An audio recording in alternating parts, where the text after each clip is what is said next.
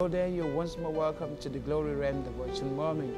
This is the day the Lord has made, and we will rejoice and be glad in it. God has something beautiful for you today. His plans for you are good, not evil. Plans to bring you to an expected end. You see, He's the only one who can bring you there. You can't get there yourself, and that's the reason why we live to worship Him. We live to bring glory to His name. When we when we sing, we sing because we have a relationship with Him. He lives in us, and we live in Him. We, we lift up our hands because we love Him. We pray because we know we have a relationship, and by virtue of the prayers we pray, we are going to get answers. And that was what Jesus told the, the disciples in the book of John, chapter number 14. He made them realize that they will be able to ask the Father whatever they will, and the Father will bring it to pass as long as they ask in His name.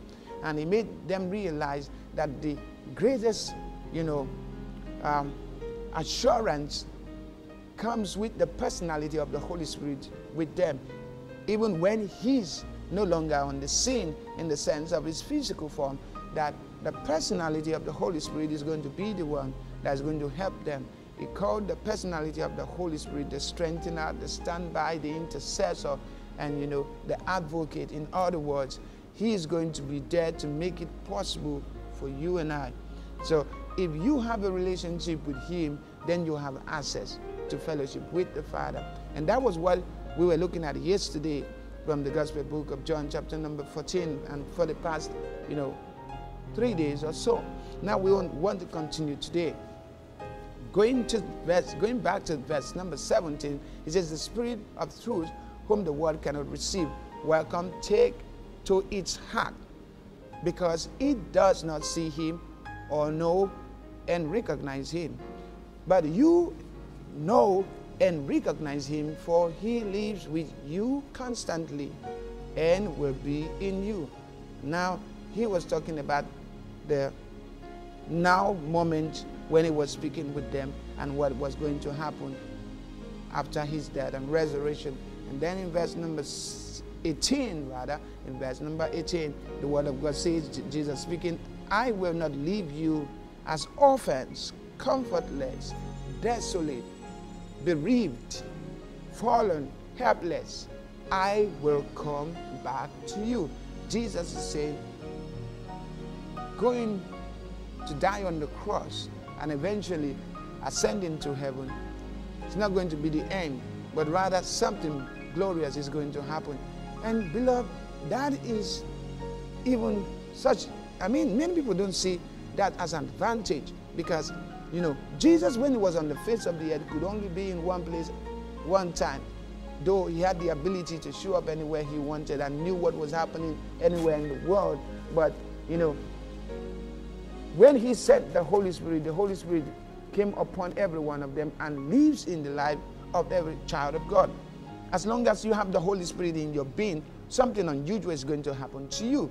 You're going to have the privilege of communion, of fellowship with God Himself. Because the Spirit of God, who is the Holy Spirit, He's God Himself. And verse number 19, it says, Just a little while now, just a little while now, and the world will not see me anymore. But you will see me because I live. You will leave also. Now, take note of this. Now, most of the time, we focus on the fact that he said, The world will not see me anymore. He said, Just a little while, the world will not see me anymore. But then, let's not forget. Now, when he says the world will not see me anymore, uh, well, we understand that he died, was buried, resurrected, and went to heaven. But if that's the case, then it means even those of us believers will not see him also.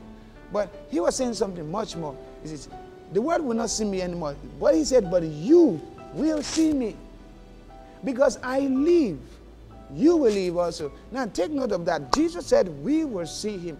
How come it's so difficult for many of us to see him? Now go back in the verses before where Philip have said, Show us the Father. So if you are in the Word and you know the Word of God and you live in the Word, you will see Him. He will reveal Himself again and again. And don't forget, Jesus makes Himself manifest. Those who have fellowship with Him have visions of Him. He reveals Himself in dreams and he walks in, I mean, to the very room where you were. He walks in. These are not things that are imaginary, they are real. There are people who are not Christians who have had experiences of Jesus walking in. So when we're talking about, I mean, when we're talking about this, we are not talking about something that is just imaginary. Jesus is the greatest reality ever. And so if we will walk and live the way he expects us to, there's going to be a great difference. Verse number 20 reveals to us something a little more. Verse number 20 says, At that time, when that day comes, you will know for yourselves I am in my Father, and you are in me, and I am in you. What a glory! Now, he said, when that day comes, what day is he talking about? When we have the personality of the Holy Spirit on, on our inside. He said, that day we will know that Jesus is in the Father, and the Father. And, and you know, he said, you know, make, let's look at it very clearly. I mean, uh, carefully. This, this, you will know for yourselves, not just because you're told. Said, you will know for yourself that I am in my Father, and you are in me. In other words, you in Christ and Christ in the Father, all in God and you are in me, and I am in you. So Jesus says, You get to know that I'm in the Father, you are in me, and I am in you. So there's this, this unusual fellowship that comes into place. Every child of God supposed to know they belong to God. Romans chapter 8 tells us from verse 14 as many that are led by the Spirit of God, they are the sons of God. So, prerequisite of being a child of God is to have the leading of the Holy Spirit in your life.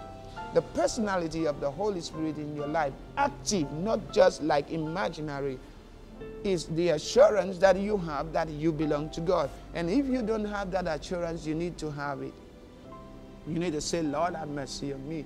Forgive me I'm a sinner. I need you in my life. Please come into my life. Be the greatest reality ever. Forgive me my sins by the blood Jesus shed on the cross. I accept you today. Be my Lord. Be my Savior.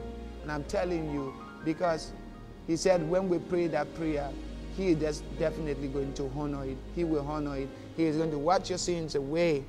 He's going to wipe them away because he's faithful and just to forgive us and cleanse us from all unrighteousness. Thank you for being part of today's broadcast. I'm Igho Louis Yegubu.